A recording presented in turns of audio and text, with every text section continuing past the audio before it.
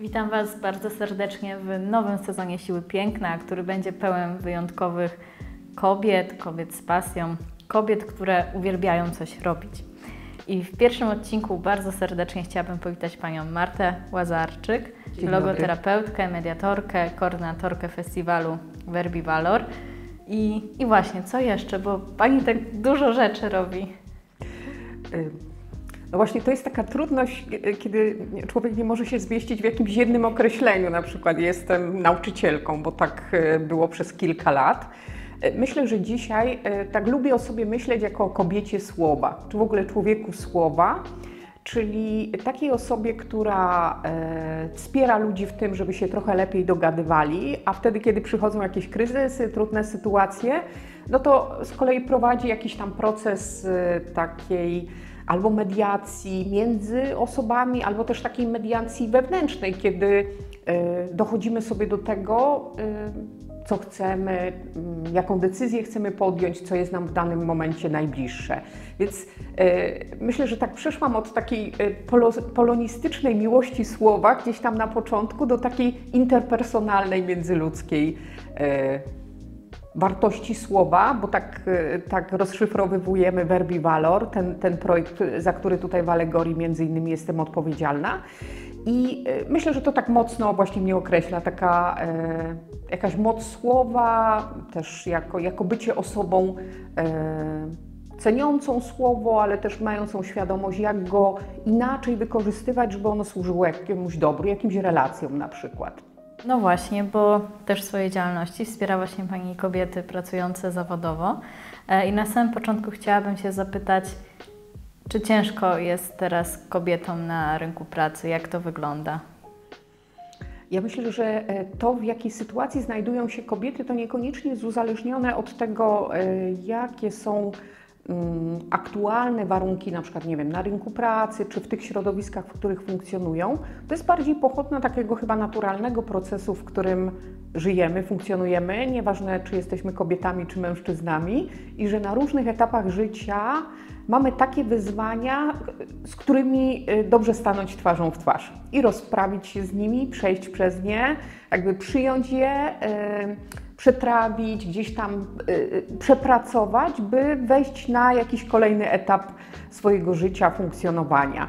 Bo jeśli chcemy ciągle zostać w takiej wersji, nie wiem, małej dziewczynki, nastolatki czy osoby, nie wiem, zależnej, to to będzie nam przeszkadzać realizować swoje talenty albo takie swoje marzenia, do których, które gdzieś tam kiełkują w sercu, y, te talenty, w które zostałyśmy obdarzone i te cele, do których mamy gdzieś tam zmierzać. A skąd u Pani wzięła się inspiracja do takiej działalności? Czy była jakaś osoba, postać, którą Pani zainspirowała? Y, Ja myślę, że to, to tak nie do końca było, że pojawiła się jakaś jedna osoba i tam coś stryknęło i już jest. To był bardzo długi proces, y, bo tak jak wspomniałam na początku, zaczynałam po prostu od pracy w szkole, potem też od zarządzania y, szkołą i, i wtedy zobaczyłam jako liderka, jako dyrektorka, że taką potężną przestrzenią bycia z ludźmi to jest wspieranie ich, to jest rozmawianie, często bardzo długie, najpierw pozwolenie, by ktoś e, wypowiedział to, co jest w nim, nawet zszedł z takiego poziomu emocji, zdenerwowania, gdzieś tam ciut głębiej e, w siebie i wtedy jest łatwiej się dogadać z taką osobą, wtedy łatwiej jest znaleźć jakąś nić porozumienia, no bo mamy takie zaufanie, że oto jest ktoś, kto poświęcił bardzo cenny dar, czyli czas, e, na wysłuchanie. I ja myślę, że to, to były takie właśnie różne e, małe elementy, pozornie małe, które złożone w taką sporą il, ich ilość, e, bo, bo też myślę, że tutaj służy mi, służy, choć czasem jest trudny taki mój talent, który, który nosi nazwę uczenie się, to że zawsze z jakąś chyba łatwością przychodziło mi uczenie się i, i to mi dostarczało bardzo dużo radości. E, Stąd liczne kursy, jakieś e, aktywności takie intelektualne, które zawsze poszerzały coś, pokazywały jakąś nową perspektywę.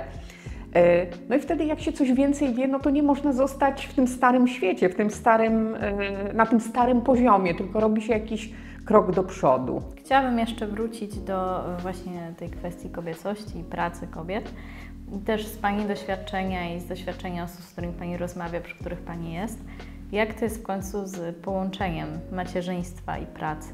Czy da się, czy jak to zrobić, czy, czy jest to możliwe, jak się w tym odnaleźć w ogóle, bo to jest wielki szok też. No, mnie jest trudno na ten temat mówić, bo ja nie mam doświadczenia macierzyństwa.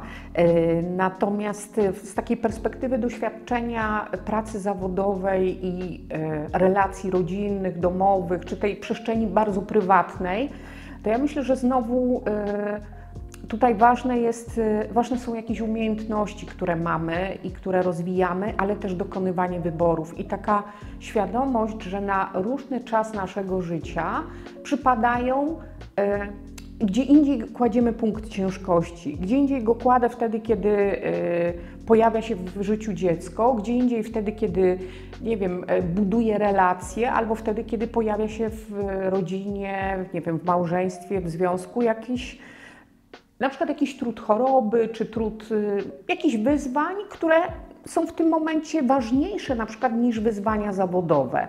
I to jest, to jest naturalne, że czasem jest tak, że te wyzwania zawodowe, że takie duże rzeczy, które się robi, to one zapełniają tak dużo czasu.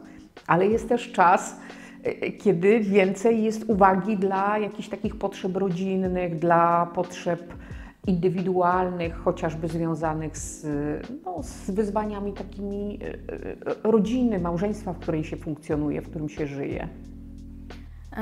No właśnie, jak już doszłyśmy do tego tematu rodziny i małżeństwa, też jako mediatorkę, osobę, która zajmuje się tą komunikacją, chciałabym Cię zapytać, czy faktycznie tak jest, że my kobiety różnimy się tym sposobem komunikacji bardzo od mężczyzn? E, no, ja myślę, że to znowu jest kwestia e, z jednej strony doświadczeń, z drugiej strony też taka osobowościowa. Ja znam kobiety bardzo takie męskie, bym to powiedziała, e, które mają w sobie olbrzymie pokłady empatii, olbrzymie pokłady takiej e, radości wewnętrznej, a jednocześnie osiągają bardzo swoje zamierzone cele, e, są bardzo takie pełne mm, potrzeby realizowania wyzwań, ale znam też takich mężczyzn, którzy świetnie się odnajdują w takich trochę bardziej byśmy powiedzieli wyzwaniach kobiecych, relacyjnych, domowych. I ja w takich momentach to zawsze sobie myślę, że fajnie, jeśli ludzie odkrywają to, to, co, to co dla nich jest dobre i to, w czym oni się czują dobrze. I fajnie, jeśli na różnych etapach, no, na przykład funkcjonowania w małżeństwie jest tak, że mamy zgodę na to, że jedna strona przejmuje jakieś role takie bardziej, nazwijmy to, męskie czy żeńskie. Albo że w ogóle y, dogadują się co do tego, że w pewnym momencie, nie wiem, mąż robi więcej rzeczy, które są chociaż już nie wiem, czy dzisiaj są przypisane bardziej kobiecie, nie, nie chciałabym tutaj iść też w jakieś takie schematy i stereotypy. Ja myślę, że tu ciągle jest rzecz o tej komunikacji, o dogadywaniu i takim pogłębianiu, co my rozumiemy poprzez to kobieca komunikacja. Co my rozumiemy na przykład poprzez to me, bardziej męska komunikacja. Ja wśród talentów mam talent stratega, czyli takie bardzo szerokie spojrzenie i takie długofalowe, widzące takie duże, grube rzeczy. Natomiast no, nie dla mnie jakieś szczególiki, niuanse, takie drobne rzeczy. I e, ja nie będę poprawiać serwetek na stole, że one nie, nie leżą e, e, tak, jak powinny leżeć, bo to dla mnie jako stratega w ogóle nie ma, nie ma znaczenia. Więc w tym, w tym aspekcie jestem mało kobieca, jeśli tak, taką część przypiszemy kobiecie. A z drugiej strony tak sobie myślę, że taka, takie talenty, taki talent predysponuje mnie trochę bardziej do pewnych innych działań, na przykład w obrębie mojego małżeństwa czy, czy mojej rodziny czy y, służenia, wspierania kogoś bliskiego, bo ja popatrzę na rzeczywistość tak bardziej szerzej, perspektywiczniej. Dodatkowo jeszcze talent maksymalisty, który odczytuje w ludziach to, co mają najlepsze, jakby tak wydobywa z nich, y, wykopuje tam to coś, co oni nawet sami zasypali, zakopali. Także tak, mam trud w, we wchodzeniu w takie myślenie, że coś jest bardzo kobiece i coś jest męskie. Yy, wolałabym chyba yy, pozostać w takiej wolności wobec i, i, i zgodzie, właśnie, i zgodzie też małżonków na przykład na to, jak oni sobie w danym czasie układają też tą bardziej męskość, bardziej kobiecość. A co się dzieje w kobiecie też, y, patrząc z perspektywy właśnie Pani pracy z kobietami, kiedy właśnie ona odkryje to, jaka jest, jakie, jaki ma potencjał, jaki ma charakter, osobowość, talenty? Y, to myślę, że bardzo mocno y, tak odżywa. Y, taka bycie przy sobie, taka przynależność do siebie, to tutaj pojęcie za Brené Brown, czyli takie właśnie odkrycie, co jest we mnie, co, co przynależy do mojego tego świata wewnętrznego, z czym ja się utożsamiam, identyfikuję, co jest takie moje głębokie daje z jednej strony takie poczucie wolności, niezależności, że ja już się nie muszę wpasowywać jakieś takie schematy, ramy. Ja tutaj nie mówię też o przekraczaniu takich granic kulturowych, że oto zaczynamy się zachowywać w jakiś sposób taki, mm, który jest nie, niepożądany na przykład w naszej społeczności czy, czy w jakichś okolicznościach, ale bardziej o tym, y, że ja przynależąc do siebie, ja jako kobieta przynależąc do siebie, mając taką świadomość, tego obdarowania, ale też tego, ku czemu zmierzam, do czego chcę zmierzać, to nie będę się godzić już na jakieś półśrodki, na jakieś takie pudrowanie rzeczywistości czy, czy mojego życia, na jakieś protezy, dzięki którym będę, nie wiem, inna, wyższa, niższa, bardziej pasująca do, do świata że to naprawdę bardzo mocno uwalnia, a z drugiej strony daje energię do robienia takich rzeczy, które, które są moje. Ale oczywiście takie, które też nie krzywdzą, nie, nie, nie powodują e, czegoś negatywnego w takim odbiorze, e, w tym, co się potem dzieje, nie wiem, z moją rodziną, z bliskimi, z osobami, które są mi powierzone, czy, czy jakoś tam, za które odpowiadam. Co by Pani poradziła młodym dziewczynom, nastolatkom, które wchodzą w to dorosłe życie, które muszą się zmierzyć z tym światem?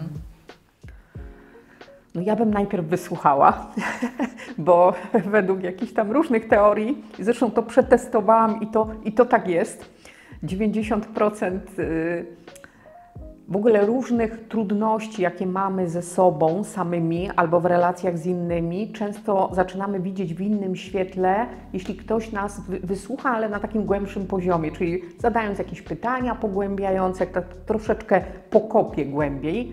Więc ja bym chyba najpierw wysłuchała tego, co, e, co jest marzeniem Twojego serca, młoda dziewczyno, młoda kobieto co gdzieś tam jest takie, że nawet się boisz to powiedzieć, bo to, bo to tak, tak, tak jest potężne, że aż, aż trudno to wypowiedzieć.